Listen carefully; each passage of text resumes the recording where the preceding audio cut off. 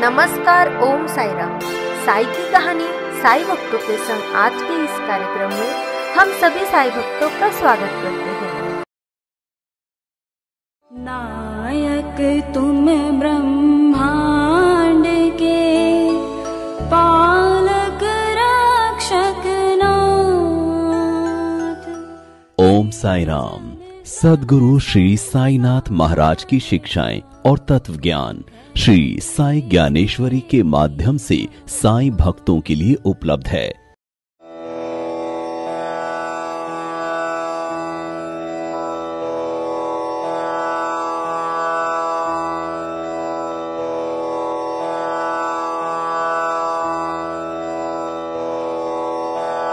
नमस्कार, ओम साई राम साई की कहानी साई भक्तों के संग आज के इस कार्यक्रम में मैं शिरडी से साई कथाकार नारदी कीर्तनकार, प्रवचनकार, किरण शास्त्री सभी साई भक्तों का स्वागत करता हूँ। साई प्रवाह टीवी शिरडी के माध्यम से नारदी कीर्तनकार, साई भक्त दास गुरु महाराज जी के काव्य पर आधारित, साई भक्त राकेश जुनेजा द्वारा लिखित श्री साई ज्ञानेश्वरी इस ग्रंथ का निरूपण कर रहे हैं। इस निरूपण में ये जो ज्ञान का अध्याय चल रहा है, इस ज्ञान के अध्याय में श्री साई बाबा नाना साहेब चांदोरकर जी को समझा रहे हैं। उपदेश कर रहे हैं कि जो एक प्रारब्ध कर्म है, उस प्रारब्ध कर्म के अनुसार ही देह प्राप्त होता है। और जैसे पशु, पक्षी, अन्य अन्य जो प्राणी है इनके जो कर्म फल मिलता है, उसी के अनुसार, उसी न्याय के अनुसार, यह भी, ये जो आगे आने वाला है, यह भी साई बाबा बता रहे हैं कि ये जो मनुष्य देह है, इस मनुष्य देह को भी, यह जो मनुष्य देह मिला है, इस मनुष्य देह को भी इस प्राणियों की तरह ही प्रारब्ध और कर्म फल के अनुसार ही भोग करना पड़ता है। तो चलो सुनते हैं कि आगे बाबा इस मनुष्य जीवन का जो ध्येय है या जो कर्म है, ये किस तरह से है?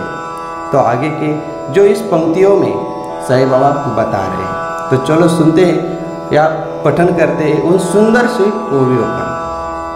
या अधिक होण्याचे कारण, एक देह प्रारब्ध जाण ते अवघे भोगिल्या विन कालत्रयी सुटेना तोच ज्ञाय मानवतात एक गरीब एक श्रीमंत एक सभाग्य एक अनाथ एक भिक्षा मागतसे. एक उडवी घोडे गाड्या एकाच्या त्या महलमाड्या एक जागेवरी उघड्या दिगंबर निजतसे. कित्येकाची मुले होती कित्येकाचे होनी जाती, कित्येक वांज राहती, कित्येक त्रास की संततीला. तो चलो सुनते हैं, उस सुंदर से होवी का हम निरूपण कर श्री साईनाथ महाराज नाना साहेब चांदरकर जी को समझा रहे हैं कि नाना, ये जो प्रारब्ध है, इस प्रारब्ध के अनुसार ही हमें यह देह मिलता है। और उस कर्म फल के अनुसार ही हमें भी यह भोगतना पड़ता है। क्योंकि इस जो कर्म फल है, उसको भोगे बिना, उसका भोग किए बिना तीनों काल से हमारी छुट्टी नहीं होती है, छुटकारा नहीं होता है। चाहे भूत, भविष्य, वर्तमान, इन तीनों ही कालों में हमारी जो छुटकारा नहीं मिलता है, कर्म भोग भोगना ही पड़ता है। जैसे प्राणियों के लिए, पंछियों के लिए कीट जो छोटे छोटे जंतु हैं, उन्हें भी जो कर्म प्रारब्ध है, उस प्रारब्ध कर्म के अनुसार ही भोग करना पड़ता है।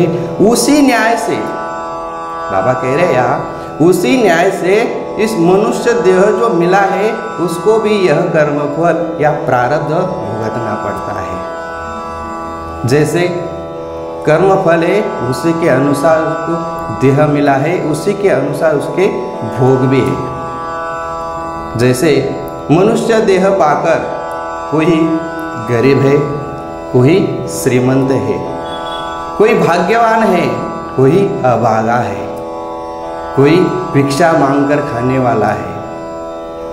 यानी अपने अपने कर्म के अनुसार वह कर्म फल भोग भुगता रहता है।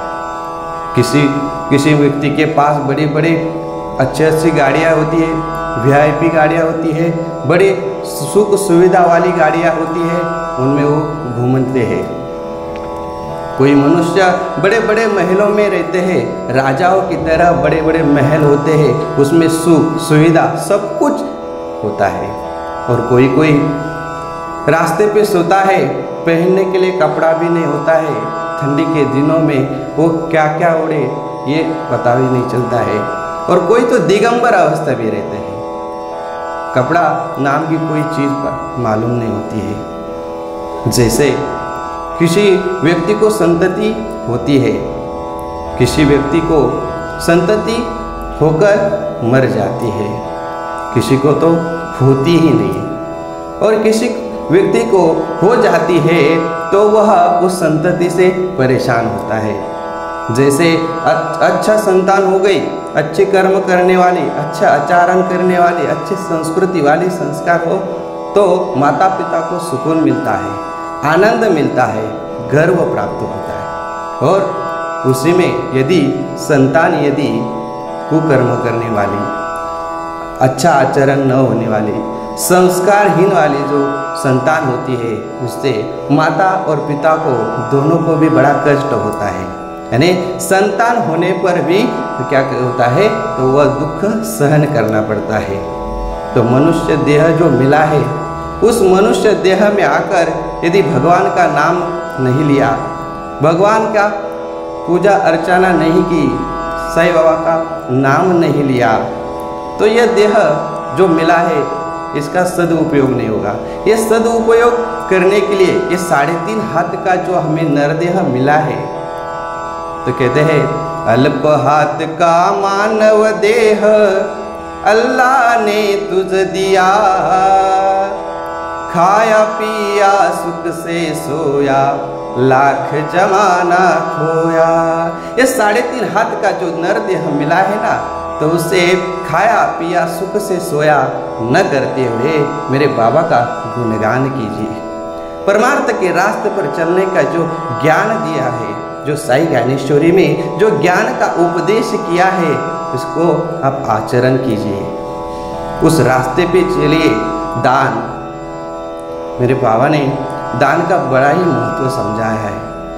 मेरे बाबा इतने बूढ़े हो चुके थे कि जो भिक्षा मांगने के लिए जाते थे ना तो दीवार को हाथ लगा लगा करके वो भिक्षा मांग जाते थे। लोग कहते थे, बाबा भिक्षा मांगने की ज़रूरत नहीं है, लेकिन कहते थे, नहीं रे। ये भिक्षा, ये दान जो मांगनी पड़ती है, क्योंकि यह आदत टूट जाती है, ये छूट जाती है यह टूटने छूट न जाए, ये टूट न जाए, इसलिए मुझे भिक्षा मांगनी पड़ती है, मुझे दान मांगना ही पड़ता है, इससे हमें दान की शिक्षा दान करना चाहिए, सत्य कर्म करना चाहिए। सत्कर्म करके अपना जो आगे का जो रास्ता है, वो रास्ता हमने खुद अपना बनाना है। क्योंकि इस मनुष्य में देह में आए हैं तो कर्म करना ही पड़ेगा। लेकिन कर्म फल भोगते भोगते हमें अच्छे कर्म करना है, ताकि आगे हमें पुनरपि जननम, पुनरपि मरणम, पुनरपि जननी जठरे शयन। ऐसे न करते हुए हमें क्या? मुक्ति के रास्ते पे चलना है।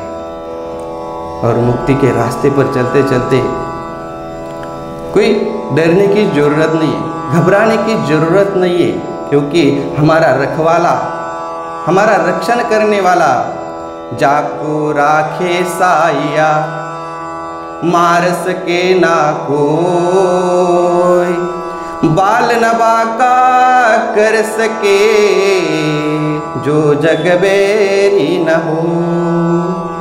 अरे मेरे साई मेरे रक्षण करने वाले हैं। मेरे बाबा आप मुझे संभालने वाले हैं। तो कौन मुझे मार सकता है? अरे मारने की बात तो दूरी लेकिन एक बाल विवाह का कोई नहीं कर सकता। है चाहे पूरी दुनिया विरोध में क्यों ना जाए, बैरी क्यों ना हो, क्योंकि मेरे साई, मेरे बाबा मेरे रक्षण करने वाले हैं। मुझे डरने की ज़रूरत नहीं है, बस भक्ति करो, बाबा के गुणगान कीजिए, उस आनंद में और भक्ति मार्ग पे चलिए। तो वही हमारा जीवन सार्थक हो जाता है। उसी में हम आनंदित हो जाते हैं। सच्चिता आनंद स्वरूप को हम प्राप्त हो जाते हैं। तो मैं तो मेरा भाग्य समझता हूँ और जो कथा सुनने वाले हैं, इनका भी बड़ा भाग्य है कि ये जो नरदेह मिला है, इस नरदेह से हमें ये बाबा के स्वरूप का, ज्ञान का और भक्ति का आनंद ले सके। और इस सुंदर से सच्चरित्र का पारायण कीजिए, ज्ञानेश्वरी का पारायण कीजिए स्तवन मंजरी का पठन कीजिए। हमारा जीवन सुखकर हो जाता है। आनंदमय।